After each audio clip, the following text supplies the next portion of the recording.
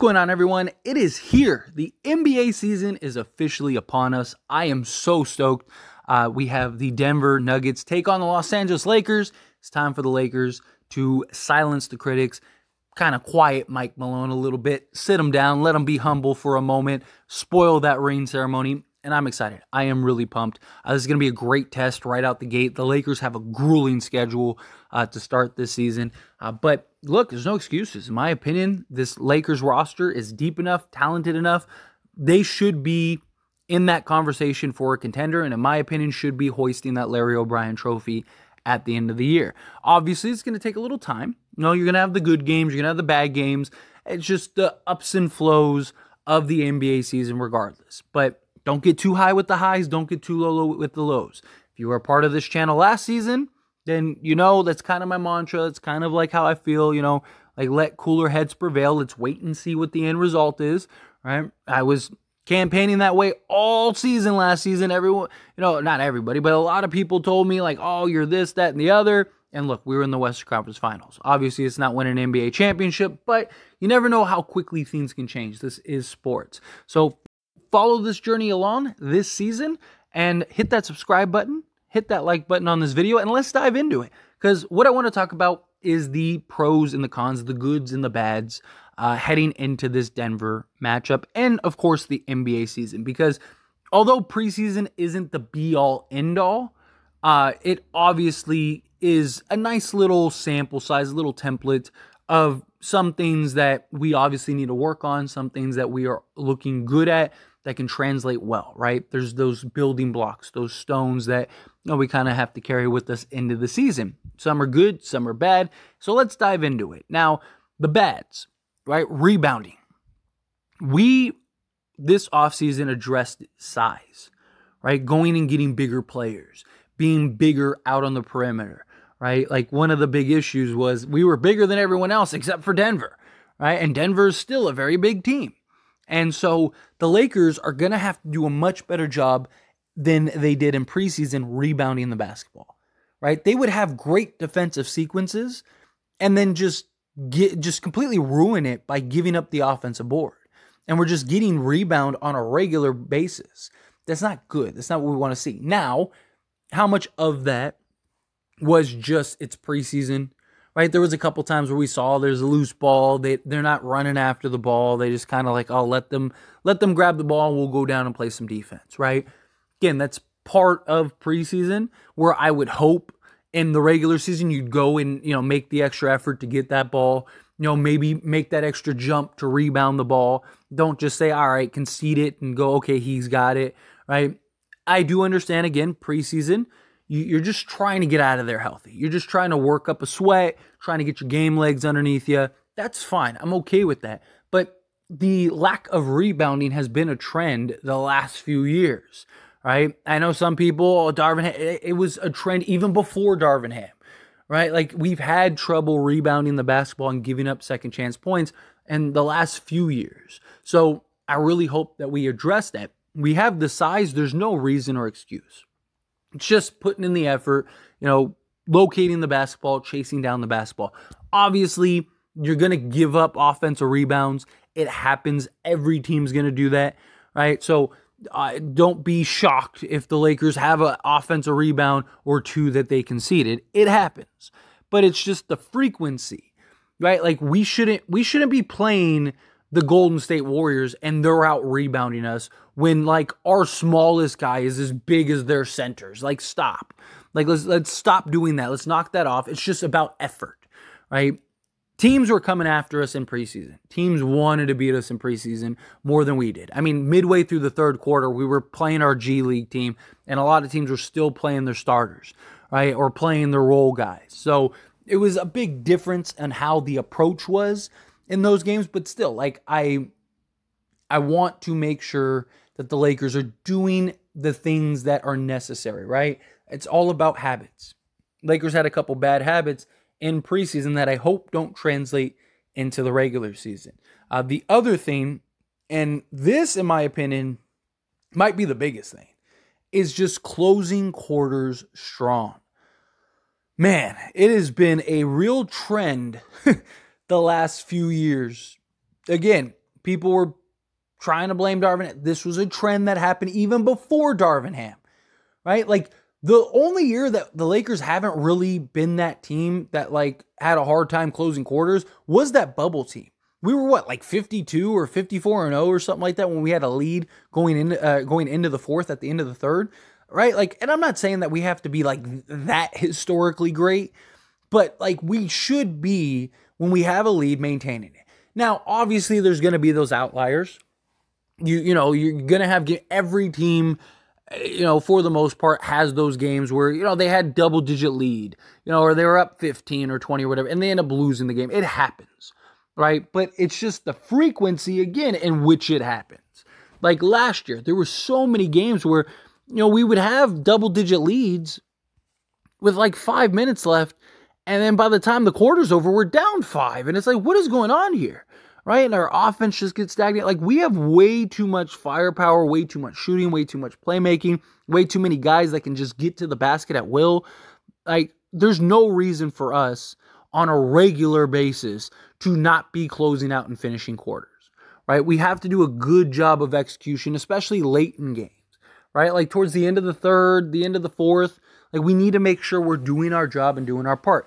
Again, some of that was just the Lakers throwing out random sets, random units. A lot of times we didn't even have a playmaker out there, so it was a lot of like iso ball and stuff. Like the ball wasn't moving like it was in like the say the first quarter or whatever, right? Where in the regular season, you're probably always gonna have one of LeBron, D'Lo, and Reaves on the court. So you're always gonna have a playmaker that's gonna be able to keep everything flowing. So it's not something that I'm like super nervous about going into the regular season. Uh, it's something that I think a lot of it can kind of just be chalked up to just the circumstances of the preseason, but it is something that has been the last few years a persistent thing that I don't want to see carry over into the regular season. But moving on to the good stuff, right? Because I wanted to get the bad stuff out of the way, jump into the the positives, right? In this video on a good note. So hit that like button, hit that subscribe button. But the core guys have looked fantastic. That's what really matters, right? Some of the guys like Christian Wood and stuff are kind of coming in their own, but the core guys that we're we're really going to be leaning heavily on have been great. Like even like Taurean Prince has been great, right? D'Lo has been fantastic. Like he looks like a guy that's heard all the noise. Rui Hachimura has been fantastic. He's coming off the bench. He's going to be one of our big offensive threats off the bench. I wouldn't even be shocked if he's in the conversation for six man of the year. Austin Reaves looks like him still, right? LeBron looks more fluid. LeBron looks like he's a man on a mission.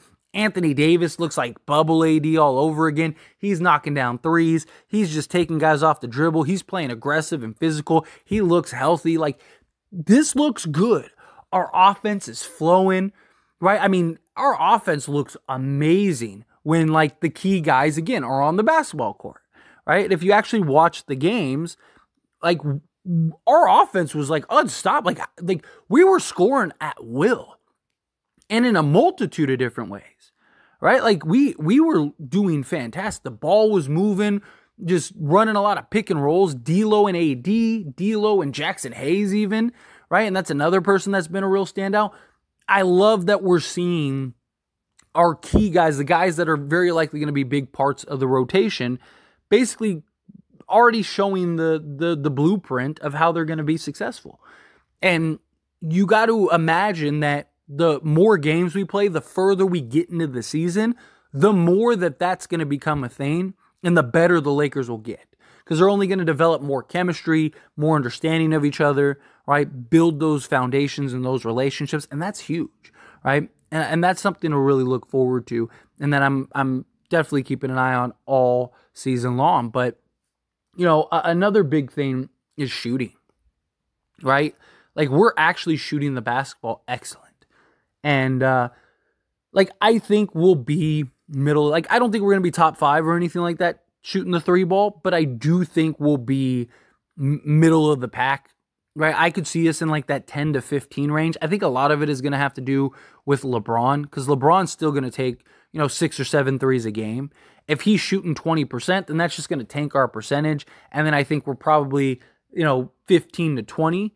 But I think if he's hitting shots or he takes less threes, then I definitely think that the Lakers will be in that like 15 to 10 range. But I do think that they'll be somewhere in the middle of the pack. I don't think they'll be, what were they, like 25th last year in three point percentage. I don't think that that will be the case this year. I think they're going to be really good. Right? We have plenty of really good. Rui's looked great shooting the three ball. Even Jarred Vanderbilt, I know it was a one game sample size, but he shot 66%, and he even missed his first three. Um, Anthony Davis is knocking down threes. The last game LeBron played, he actually hit a bunch of threes and shot well. Uh, you know, obviously Taurean Prince, D'Lo, Reaves. Like the Lakers have shooters on this roster. Lakers have like three, maybe even four guys that could shoot around 40%, especially with Gabe Vincent, right? You got uh, Taurean Prince, who promised us he's shooting 40% this year. D'Lo Reaves, and then Gabe Vincent has shown that he can be a 38 to 40% three point shooter. Then you have Christian Wood, who knows 38%, right? So the Lakers have the shooting that we need to have success and, and be one of the better three point shooting teams. Um, and then last thing is just defense, right? Like we obviously we had bad defensive moments, missed defensive assignments, stuff like that. And you know, there were times where we just kind of laxed on the defensive end. Again, I attribute a lot of that to preseason. I do because we saw enough that when the Lakers were locked down, you're not scoring on this team, right? Unless you just hit some crazy shot.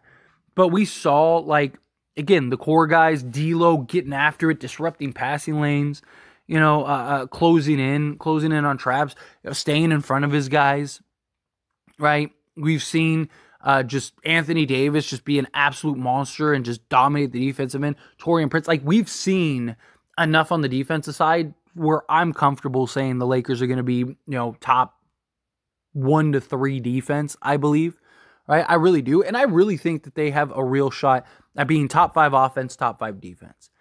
I really do. Which to put in comparison, last year, the only team that was that was the Boston Celtics. That was the only team that was top five in both.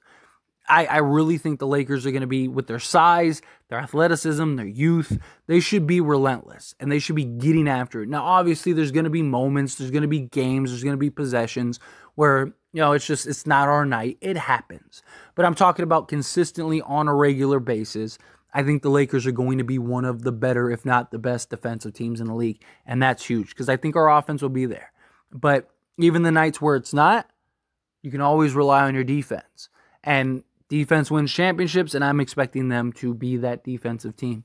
But anyway, as always, this is a discussion, so I pass the question on you. Let me know your thoughts and opinions down in the comments below. What do you think? Is there anything that I'm missing that you have concerns about, or anything that I'm missing that you see very positive? I mean, there's little things that we could talk about, obviously, but I think these were just kind of like the big key things that I wanted to, to touch on and kind of dive into. But again, love to hear your thoughts and opinions, so let me know down in the comments below. Don't forget to like the video, subscribe to the channel. Appreciate you all. I'll see you all in the next